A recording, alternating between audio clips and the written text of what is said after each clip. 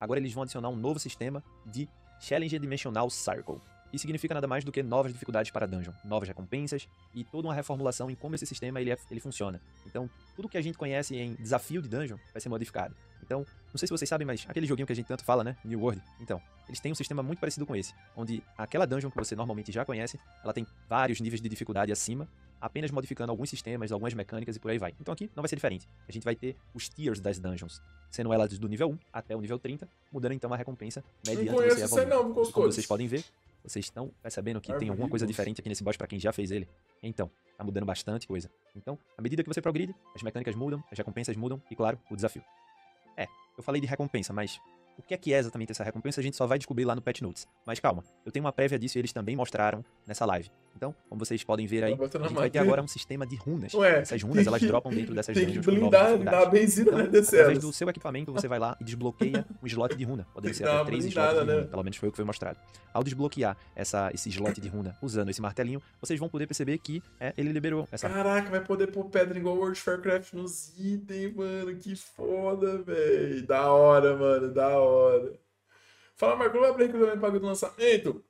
Final dessa semana. Primeiro a gente vai fazer um Primeiro a gente vai. A gente tá ampliando a staff. Segundo a gente vai abrir o recrutamento interno para quem jogou o beta com nós. Depois a gente vai abrir o recrutamento público para quem jogou o coreano ou beta.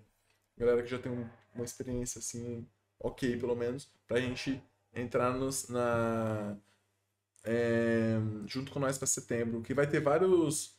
Cara, a gente, faz uns, a gente vai fazer, tipo assim, pegar a galera que mais manja assim da guilda, fazer uns aulão pra culturar a galera de alguns macetinhos, alguns segredinhos que estão descobriu de bio e nananã, umas paradas maneiras, tá ligado?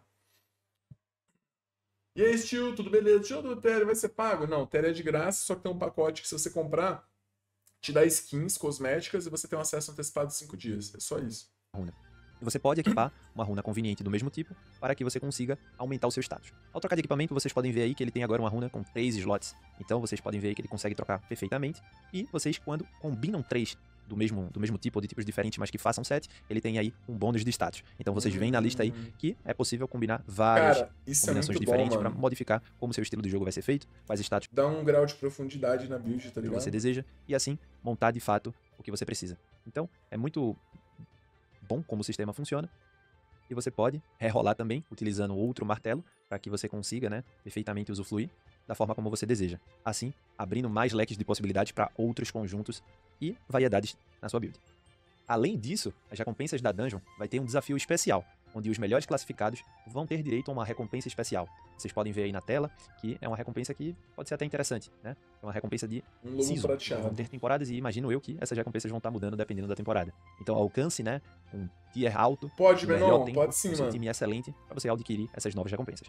Ainda falando de item, nos foi mostrado agora uma nova forma de você modificar as traits do equipamento.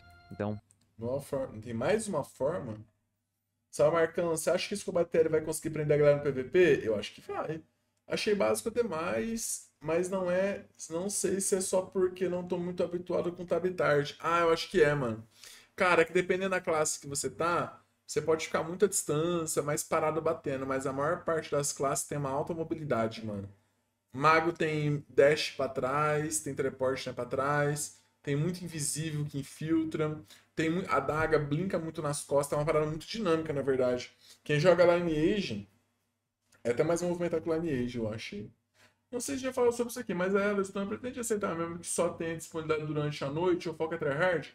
É à noite, exatamente. O horário premium da Yellowstone é das seis e meia da tarde a uma da manhã. Uma e meia da manhã. Uma da manhã, né? Porque é quando tem os boss. No, no Throne Liberty, servidor BR, o horário premium, onde tem 95% das coisas, é das 6 e meia da tarde, que é 7 da noite, das 7 da noite, na verdade, né? Das 7 da noite até 1 da manhã. É esse intervalo de 6 horas do dia onde acontece tudo. Com exceção de dois bosses à tarde, que é bem mais de boa. É coisa pequena. Comparado com a noite tem um monte de boss, um monte de evento, e nananana, tranquilo. Assim far. É esse horário premium da, que, que a gente tem que manter atividade. Porque assim, se você joga, se você joga esse jogo competitivo, você pode ter os caras mais ativos do mundo. Se os caras não tá ativos junto no mesmo horário, não dá certo. Porque você precisa de coisas em grupo. Sem o time, sem o grupo, sem as pessoas no mesmo horário online, você não faz as principais coisas competitivas. modificou-se um pouco, né? E você pode ver ali que ele consegue agora, ou de forma final da aleatória, semana a gente vai abrir assim, usando essa moeda aí, gerar um novo status, né, pra esse item. Então, essa moeda a gente é pago, tá aí, não? né, algumas informações, mas ele tá mostrando que dá pra se adquirir em determinados locais. E aí, ao fazer isso, você altera perfeitamente a trait, trazendo mais uma forma de se trabalhar nos seus equipamentos. Vocês agora podem ver que agora tem um novo status ali misterioso, né, tá em coreano, então é um pouco difícil, a gente vai ter que esperar o patch notes pra entender Vou, vou traduzir agora. Vou traduzir agora. Vocês duvidam? Se você aumentar todos os traços, todos os traits até o nível máximo, poderá expressar o efeito de ressonância. Ou seja, se você tiver todos os seus traits 4/4, você vai poder usar o efeito de ressonância. Os efeitos de ressonância têm habilidades diferentes dependendo do equipamento, e uma dessas habilidades pode ser adquirida com carga. Além disso, o efeito de ressonância que já foi obtido, você pode mudar para outros efeitos públicos através da troca pública. Cara, meio que se você tiver todos os traits 4/4, vai ativar um efeito de ressonância que não deu pra entender o que que faz. Na poder expressar, os efeitos de ressonância têm habilidades diferentes dependendo de equipamentos, e uma dessas habilidades pode ser adquirida como carga. Meio que vai abrir uma parada extra que você vai poder colocar. Ah, mano, isso aí é as pedras, pô. É as pedras, pô. Mano, é as pedras. Dá pra desbloquear também usando essa nova moeda Isso aqui é as pedras, pô. Ó, vou voltar aqui, ó, com licença. É as pedras, pô.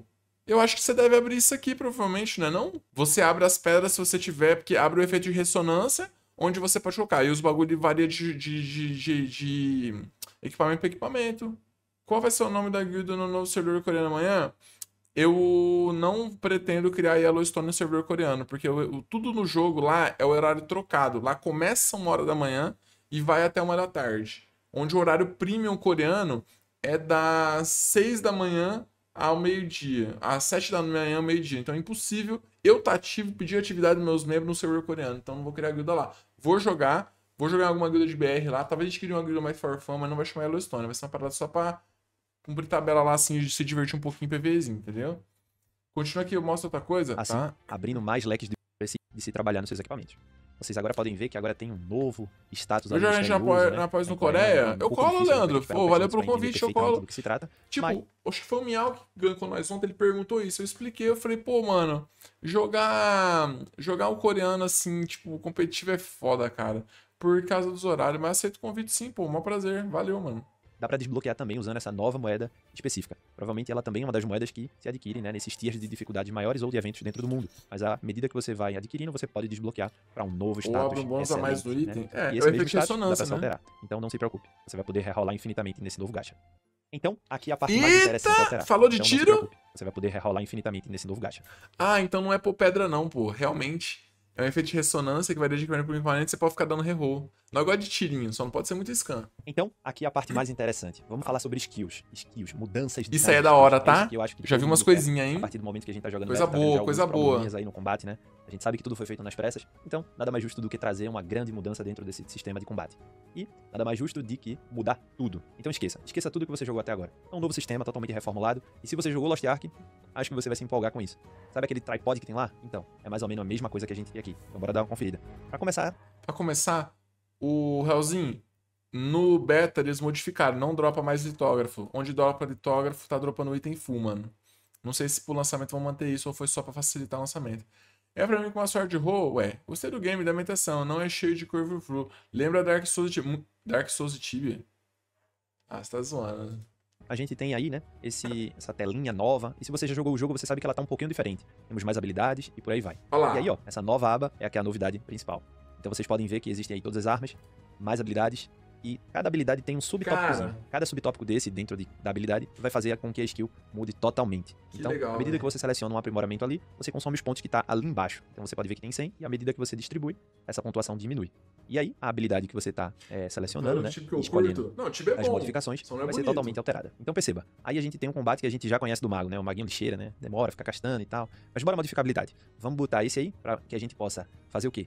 Andar enquanto casta, esse outro pra aumentar o dano em área. Nem ferrando que vai dar pra tacar bola de fogo enquanto. Nossa, cara, nem fudendo. Ô, a habilidade que eu mais odeio do mago é a bola de Mais fogo, mano. Demora. Cara, a bola de fogo você tem que castar parada, mano. Mó cansada. Imagina tacar a bola de fogo de Belandinho na cabeça dos outros andando. Bora modificar a habilidade. Vamos botar esse aí pra que a gente possa fazer o quê? Andar enquanto casta, esse outro pra aumentar o dano em área e o outro pra tornar com que fique mais rápido, né? Propriamente dita. E aí a gente tem totalmente reformulado o combate pro Maguinho Lixeira com essa habilidade de fogo. Isso é muito interessante, vocês podem ver ali que o fogo fica ticando, né? Tá incendiando. Mas não para por aí. Quando você pega esse novo ponto, a habilidade muda, o ícone muda. E como é que ela fica? Agora a gente tem um meteoro saindo de fato da minha, do cajado. Então, com isso, a gente tem uma habilidade totalmente reformulada com dano muito mais elevado. Olha lá. E ainda pega em todos os alvos. Isso consumiu a pontuação. Vocês podem ver aí que só sobrou 82 pontos. E essa habilidade consumiu 18. Então eu posso fazer isso, posso resetar e por aí vai. Vocês vão poder controlar isso ao seu bel prazer. A habilidade de baixo ali ficou vermelha. Então, provavelmente alguma limitação que a gente vai precisar entender nos patch notes. Agora a gente vai estar comparando os combates das classes, o antes e o depois. A gente tá vendo aí o Shield sendo arremessado, e agora na nova versão, o Shield é arremessado e ele vai quicando em outros inimigos. Aqui a gente tem um golpe de fazer isso, posso resetar e por aí vai. Vocês vão poder controlar isso ao seu bel prazer. Lança a habilidade de setembro. baixo ali ficou vermelha. Então, provavelmente alguma limitação que a gente vai precisar entender nos patch notes. Agora a gente vai estar comparando os combates das classes, o antes e o depois. A gente tá vendo aí o Shield sendo arremessado, e agora América, o Shield é arremessado e ele vai quicando em outros inimigos. Caraca, mano, virou a Hunters do. Virou a Hunters do, do, do Warcraft 3 que fica quicando, cara. que atende e agora na nova versão, parando os combates das classes, o antes e o depois. A gente tá vendo aí o Shield sendo arremessado, e agora na nova versão, o Shield é arremessado, Mano, quicando tanque vai ficar muito legal, muito mais legal. Caraca, em mano. outros inimigos. Aqui a gente tem um golpe de Great Sword que batia no chão e dava o dano em área. Porém agora, a gente vai ter uma nova habilidade, onde agora você tem essa combinação com- com gelo. Aqui você tem as- os arremessos né, das facas do nosso querido Adaga. Agora, esse arremesso é imbuído com choque, dá dano entre os inimigos e com certeza ficou muito mais style. Aqui a gente tem a habilidade do, da besta, né? Onde cada tiro tem um alvo ali a mais, sai uma flechinha a mais, só pra dar um daninho a mais. Aqui agora vocês podem ver que essa flechinha, ela tá mudando de elemento. Tá gelo, depois fogo. Que legal. Olha o nosso. Magma aí de novo. Meditando, enchendo a mana tranquilamente enquanto o bicho bate nele. Não, acabou isso. Agora eu energizo e essa energia passa para o inimigo. Fantástico, né? Ué, olha o arco lá, como- habilidade que assim? Energizo, meditando, enchendo a mana tranquilamente enquanto o bicho bate nele. Não, acabou isso. Agora eu energizo e essa energia passa para o inimigo. Fantástico, né? Olha o Ué, mas eu ainda recupero a mana? Agora eu- eu recupero mana energizando e batendo? Tá dando de raio enquanto recupera a mana. Cara, que foda, novo. Meditando, enchendo a mana tranquilamente enquanto o bicho bate nele. Não, acabou isso. Agora eu energizo e essa energia passa para o inimigo. Fantástico, né? Olha o arco lá, habilidade que ninguém usa, totalmente inútil. Meu Deus do céu, o que, é que eles vão fazer com isso? Um fucking tornado. Mano, É isso mesmo, e ainda levanta em área, tá? Olha lá, ó, a curinha do meu healer. não, mano, pera aí. Aí os caras perderam a noção. Não, não, não, não. Aí tem coisa errada. E agora a gente tem um fucking tornado. É isso mesmo. Mano, presta atenção, vamos lá. Eu não tô preocupado com essa skill. Eu tô preocupando com 50 pessoas usando essa skill ao mesmo tempo. Vai ficar todo mundo voando, velho. Como assim, cara? Olha o nosso tanque aí, ó. Opa, get over here e ainda te jogo pra outro lugar. Nem Fantástico aqui, fudendo. Entre os inimigos. Olha o nosso Galera, olha o que o tanque vai fazer. tanque aí, ó. Opa, get over here.